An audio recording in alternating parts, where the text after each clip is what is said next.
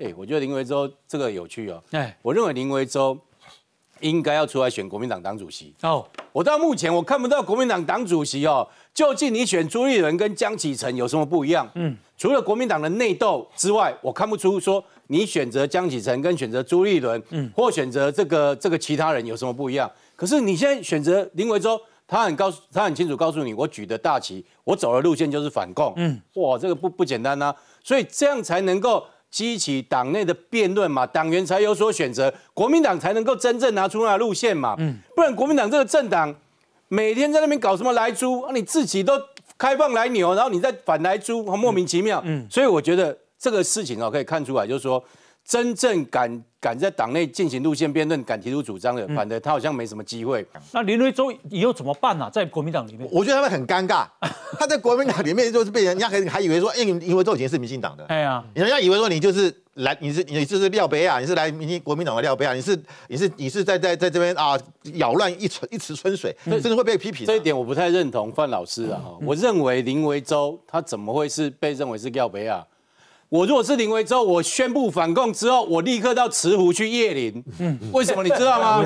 我才是国民党正统啊！反共，反共哎，反共必胜，建国必胜。哎，我 对不对？这过去那个洗的颇严重，所以哦，是国民党变的。对我如果是林维洲，我说是国民党变的，是现在的国民党变的。我还去慈湖三鞠躬哎，叶林对不对？叶完林之后宣布参选党主席。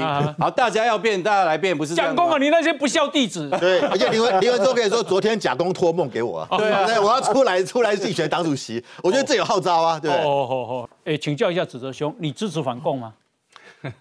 不要看议题啦，所以反共这个这个概念太大了啦。哦，那基本上，比如说在呃马总统执政的时候，哦是走和中的路线嘛，哦基本上维希望维持两岸的和平稳定嘛，哈。那反共哦，我我先回应一下，就是说这个呃林维洲委员哈，他特别有提到在脸书，事实上他论述没有很长啦，哎，他基本上跟啊春节期间你共居共建还来，哈，那他觉得这件事情很讨厌，所以要反共。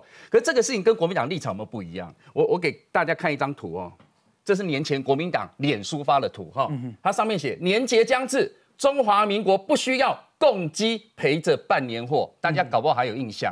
平常可以哦，哈，国民党平常可以，年节不要哦。刘一根，你的解读有这么？对，有。我理解像年节，平常就不要来。他他有他有这么说吗？你没有年节，他只说年节更不需要来啊？不是刚才平常可以来，但不要太来。平常更不需要来，就比较急嘛。晚间十点，敬请锁定，朕知道了。